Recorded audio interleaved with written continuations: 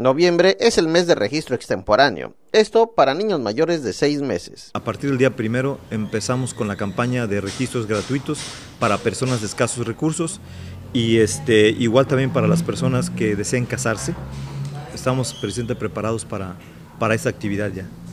Todos los, en todo el estado y obviamente concretamente aquí en Lázaro Cárdenas, nuestro director Cuauhtémoc Ramírez Durán así nos ha dado las indicaciones de que aquellas personas que no hayan registrado sus hijos y que tengan más de seis meses y que, y que sean de escasos recursos, les, este, les hagamos el trámite gratuitamente.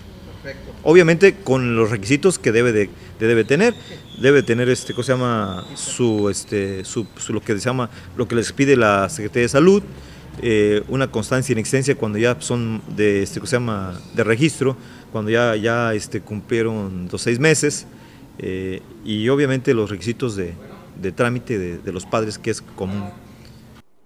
De la misma forma, el registro civil estará realizando aclaración de actas el 26 de noviembre. El, fíjate que el día 26, para todas las personas también que deseen y que sean también de escasos recursos y que tengan algún problema con su aclaración de acta, este, que, que obviamente vamos a tener ese, ese evento el día 26. Empezamos a las 10 de la mañana en el Palacio Municipal, en la planta baja del Palacio Municipal. Tengan los nombres con abreviaturas quien haya sido un error ortográfico, que, que, sea un, que sean ilegibles los, los datos del, este, se llama, eh, de la ubicación de, sus, de, sus, de los libros o de la propia acta.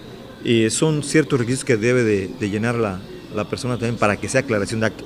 La demás sería eh, una rectificación de acta, que es una cuestión muy diferente entre aclaración y este y rectificación. Habrá oportunidad para quienes quieran casarse si viven en unión libre. Eh, también igual para los matrimonios, es, es, las personas aquellas que tengan más de dos años y que obviamente comprueben que tienen un hijo en común, podrán también este, celebrar el matrimonio con ellos. O sea, forma gratuita, forma gratuita, hasta que se termine el mes de noviembre.